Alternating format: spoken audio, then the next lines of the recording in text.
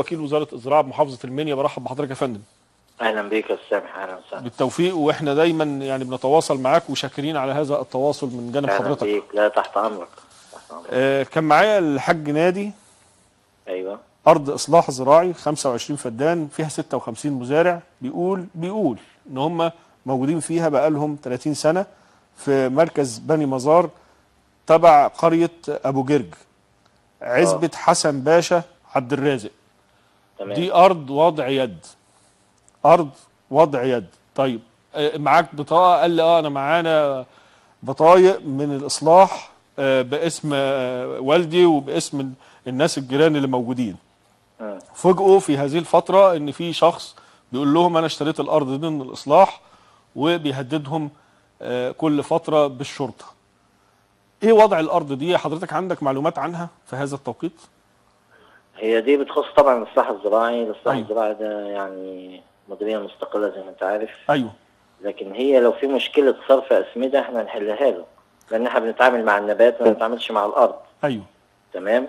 دي أول نقطة. الأسمدة وهو فعلا قال أنا كنت في الم... في مكتب الوزير وتقدمت بطلب وقالوا لي آه. إن أنت ممكن تصرف الأسمدة. طبعا. آه دي ما فيهاش مشكلة. أيوه لكن بالنسبة بقى لوضع قانونيه الأرض واللي اشتراها أيوة. فأنا هرجع للإصلاح تاني لأن دي بيتم الإجراءات دي كلها بتتم عن أنا عارف وأنا بكلم حضرتك لأن. أنا أنت يعني بتقدر تتواصل مع جميع القطاعات آه. طبعاً. وبتقدر آه. فعلا تقول لنا على الحقيقة كاملة طبعاً. وهو هيجي لحضرتك بكرة بالبطاقات اللي معاه وبالأوراق اللي معاه برضه عشان يعرضها عليك يجي لي الصبح بدري وإن شاء الله آه، قبل ما أطلع مرور بس يجي لي وأنا إن شاء الله أتصل بمدير الإصلاح وأعرف القصة ماشية إزاي وهو قاعد يعني الحاج نادي معايا اهو. الحاج نادي. أيوه باشا. الدكتور حسن الفولي معايا على الهاتف. أنا حكيت له مشكلتك. هو بيقول لك إن الأسمدة ما فيهاش مشكلة هتصرفها إنما القانونية بالنسبة لوضعكم في الأرض هيتابعوا مع الإصلاح. هتقدر تروح له بكرة بدري قبل ما ينزل المرور ولا تروح في يوم آخر؟ يا باشا أنا مش بتكلم على الأسمدة. أنا مش بتكلم على الأسمدة يا باشا. أنا قلت له يا حاج نادي. أيوه أنا قلت له على وضعكم كله وهو هيتابعوا مع الإصلاح. هتروح له بالاوراق اللي معاك تقدر تروح بكرة ولا نحدد ميعاد تاني؟ ألو... الوقت اللي ندي عليه هو يا باشا. بكرة الساعة 9 بكرة الساعة 9 تقدر تكون موجود عنده؟ اديني حتة في المنيا يا باشا. يعني أنت من المنيا ومش عارف مديرية الزراعة فين؟ أنا مركز بلمزار يا باشا والله. مركز بلمزار هو هو يا دكتور حسن من بني مزار.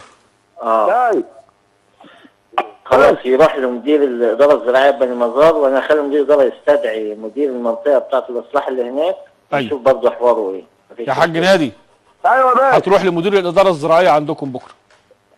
مدير الإدارة في بلمزار في بني مزار أيوه. إيه تروح له بكرة والدكتور حسن الفولي هيتابع معاه علشان ما تروحش هذه المسافة الكبيرة. يخلي مدير الإدارة يكلمني بعد إذنك وأنا مدير هكلمه الإدارة الزراعية؟ أيوه. أيوه. اللي هي المنطقة يعني؟ أيوه يا حاج مدير الإدارة الزراعية في بني مزار. ماشي يا باشا. شكرا يا حاج. ولا ولا أروح للدكتور حسن الفولي مش مشكلة. لا روح له وهو هيتواصل معاه بالتليفون وهيقدر ينسق مع الإصلاح الزراعي بحيث إن أنت ما ت- ما تروحش هذه المسافة كلها. ماشي يا باشا إحنا عاوزين حل في الموضوع ده يا باشا. شكرا شكرا شكرا شكرا يا حاج نادي. بشكرك شكرا جزيلا. دكتور حسن. أستاذ أستاذ سامح أنا عايز أقول لك بس الأخ اللي اشتكى من في جمعيه منصورة امبارح ان ما فيهاش أسمدة. أيوه. هي واصل لها ثلاث عربيات تم صرفهم. هي ال- يعني الحيازات كتيرة جدا في الجمعية دي.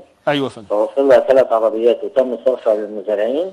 أيوه. وهيتوفر لها إن شاء الله إن شاء عربية تاني. إن شاء الله. وهنبعت لها عربيتين تاني عشان نكفي حيازتها بالكامل يبقى بنسبة 100% جميل قوي. بالتوفيق يا دكتور. أنا فعلا كنت الله حضرتك يخليك. لأن امبارح كان فعلا شكوى من جمعية بلنصورة وحضرتك وعدت إن الأسمدة في طريقها لهذه الجمعية. وتم صرف ثلاث عربيات وإن شاء الله في دفعة أخرى هتبقى موجودة النهارده في هذه الجمعية ودي بشرى جميلة جدا من حضرتك بتمنى لك التوفيق دائما وبشكرك. على هذا التواصل معنا ومع المزارعين شكرا, شكراً. للدكتور حسن الفولي وكيل وزارة الزراعة بمحافظة المنيا